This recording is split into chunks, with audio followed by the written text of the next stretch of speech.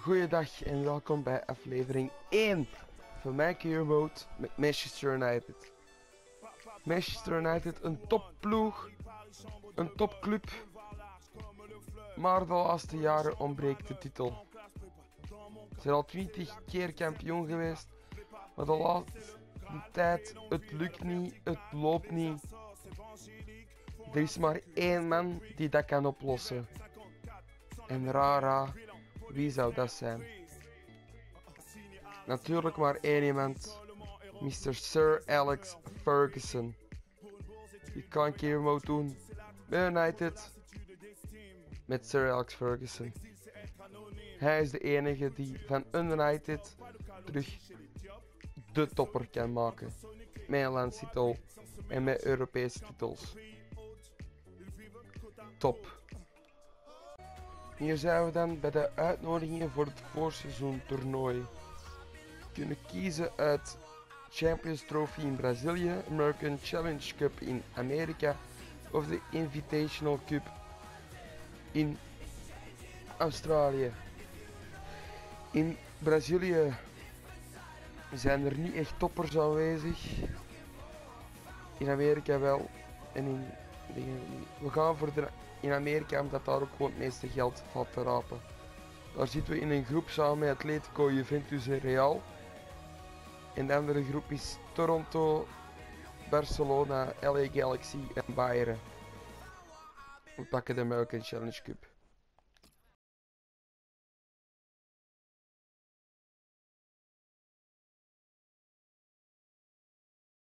Zijn we dat in onze hoofdpagina. We gaan naar kantoor, we gaan hier kijken welke challenge cup.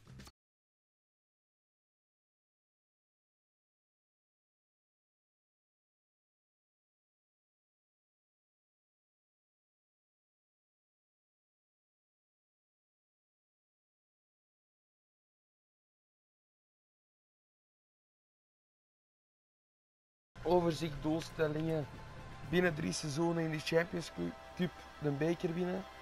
We moeten ons kwalificeren voor Champions Cup. En moeten de Emirates FA Cup winnen. Jeugdafdeling. Contracteer één speler in jeugdafdeling voor positie van middenvelder. Dat moet lukken. Teken één jeugdspeel voor het volwassen team hetzelfde seizoen dat ze gescout speel 5 zijn zijn. Dat gaan we doen. We gaan dat sowieso doen, maar dat moet lukken. Vijf strijden. We wisselen. Er is een verdediging op middenveld. Dat moet lukken. We moeten 200 miljoen aan shirtverkoop verdienen.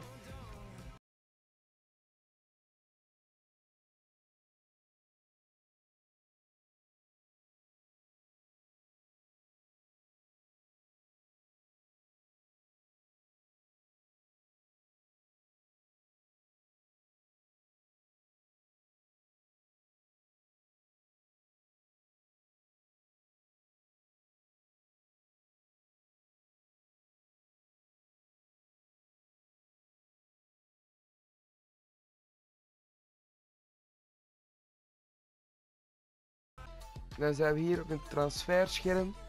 En deze spelers op de transferlijst gezet en mogen vertrekken bij een goed bod. Michael Carrick, Juan Mata, Matteo Darmian, Joel Pereira, James Wilson, Joe Riley, Roshan Williams, Scott McTominway, Dimitri Mitchell, Zachary Durnley, Angel Gomez. Dat zijn de spelers die mogen vertrekken bij een goed bod. Dan heb ik een paar spelers op mijn verlangenlijst gezet. Cristiano Ronaldo, die ga ik echt wel proberen te kopen voor op rechts te zetten. Marcelo, voor linksachter. We hebben nog twee verdedigers, Thomas Vermalen en Jan Vertongen. En nog een extra spits, Danny Welbeck en drie Mertens. Ik weet, dat is allemaal eh, dure vogels. Ik kan ze ook niet allemaal kunnen compenseren. die ik naar ons wil halen. Dus dan gaan we nu kijken of dat we een transfer kunnen doen. Je zou dan met Zizou aan het onderhandelen voor Cristiano Ronaldo en ik bied hem een transfersom van 140 miljoen. Willen Ronaldo contracteren voor 140 miljoen. Hebben we een deal?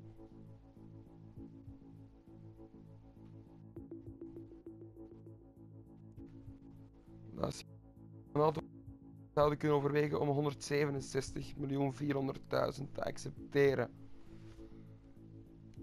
Dan gaan we proberen nog een klein beetje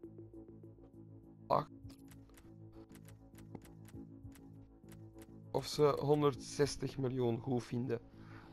Oude Ronaldo kunnen kopen voor 160 miljoen is dan een goede deal.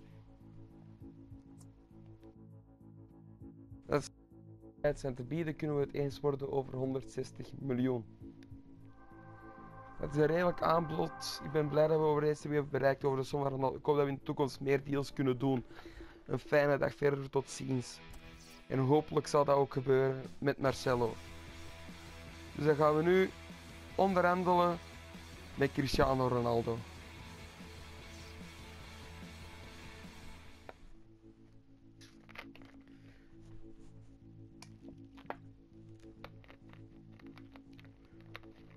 Hier is hij dan, Ronaldo, vriend van Alex Ferguson.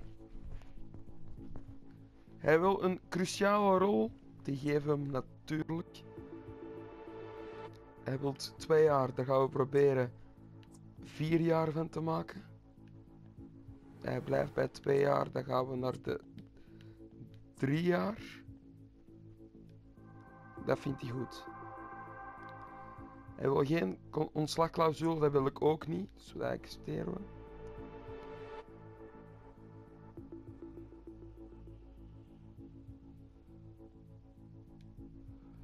...470 salaris vind ik meer dan oké. Okay. Tekenbonus vind ik ook goed. Maar die doelpunten gaan we proberen naar 20 miljoen te krijgen.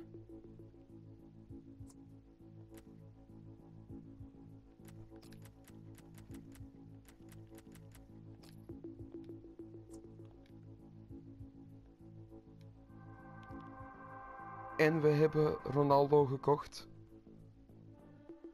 Dit is perfect. Het is wel duur geweest, maar dat wisten we op voorhand.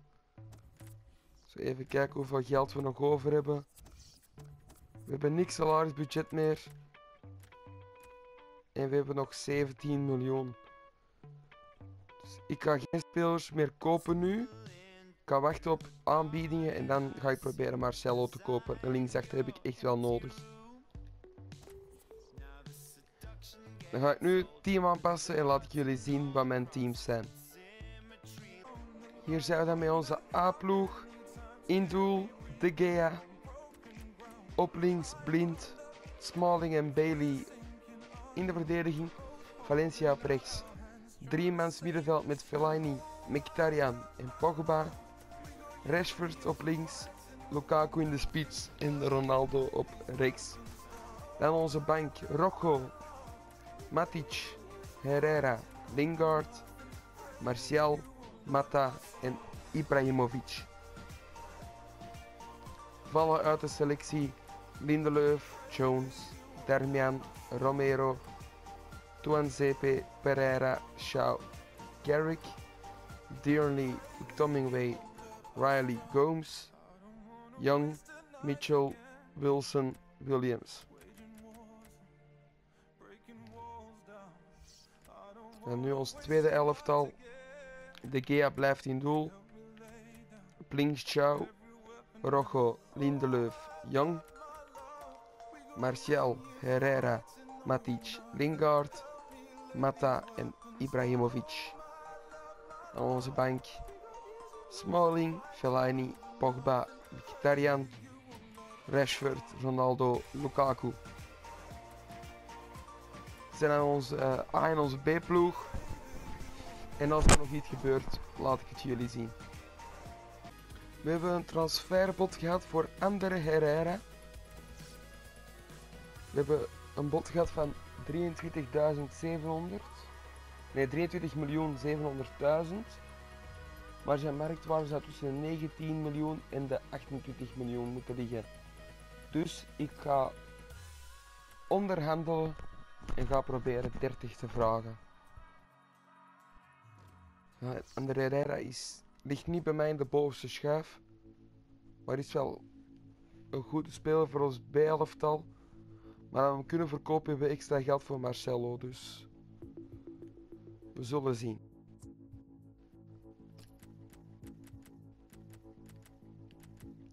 We gaan 32 miljoen vragen. 23 miljoen. 30.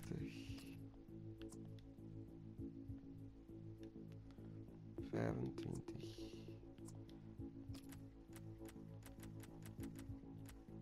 28.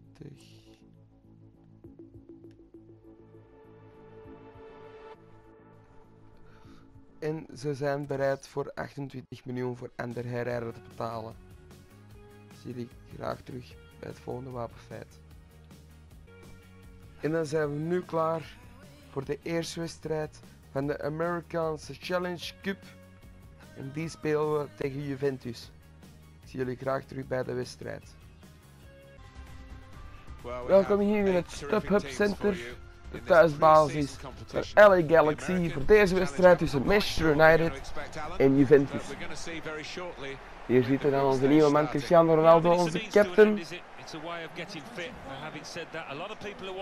De stand, ja, er is nog niets gespeeld, dus we zitten in een aardsmoeilijke groep, maar hopelijk kunnen we doorstoten naar de halve finale.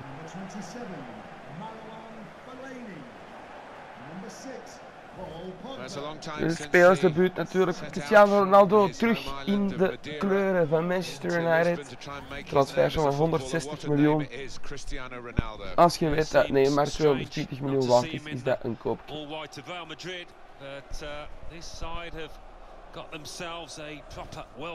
Hier kijken naar de basisopstelling van Sir Alex Ferguson.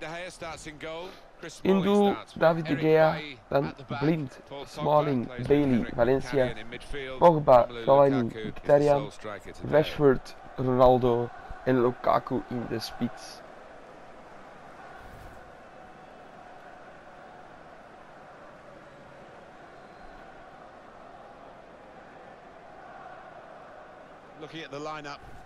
En nu voor Juventus, trainer Massimiliano Allegri heeft voor deze elf gekozen. Pinzoglio in doel, dan Rogani, Heuvedes, Lichtsteiner, Jaka, Matuidi, Sturaro, Bernardeschi, Dybala en Mandzukic in de spits. Niet een A-elftal, maar toch wel een stevig aangepaste ploeg.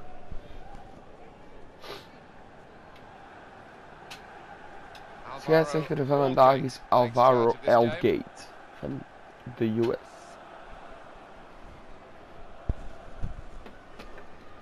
Dan zijn we klaar voor de wedstrijd te starten. En Matsukic zal de bal in het spel brengen. We zijn eraan begonnen. Eerste kans aan Mandzukic.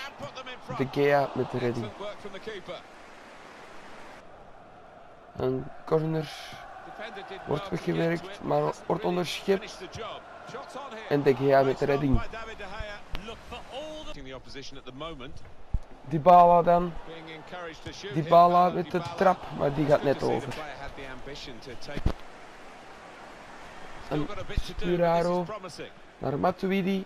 Die past naar Dybala en De Gea met een mooie redding.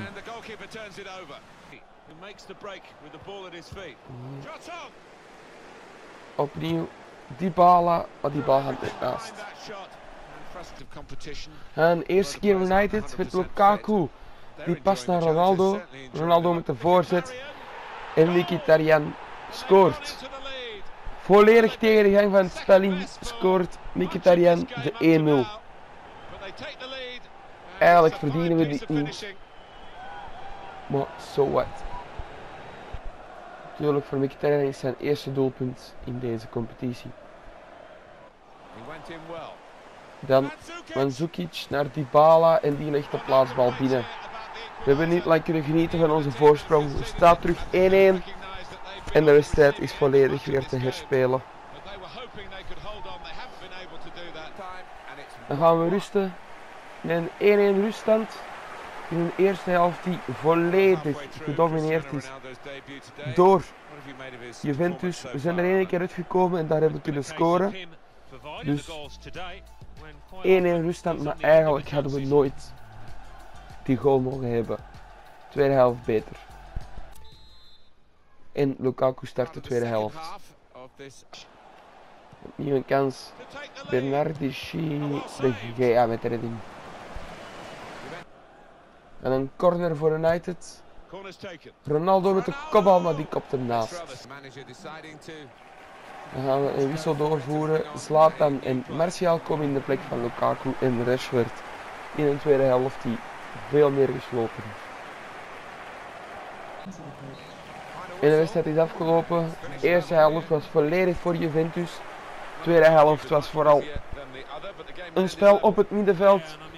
Dus als bij al logisch gelijk spel, maar eigenlijk zou je moeten zeggen dat Juventus deze wedstrijd altijd had moeten winnen.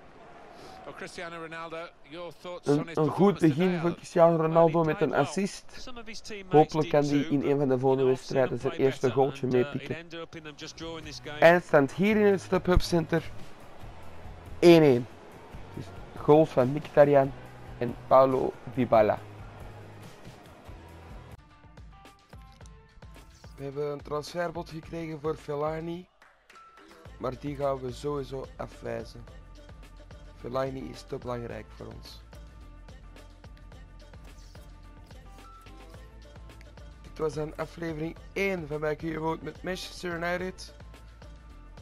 Hopelijk hebt u eraan genoten. Ik zie jullie graag terug bij de volgende aflevering. En daar spelen we tegen Real Madrid en Atletico Madrid. Ik zie jullie graag terug bij aflevering 2.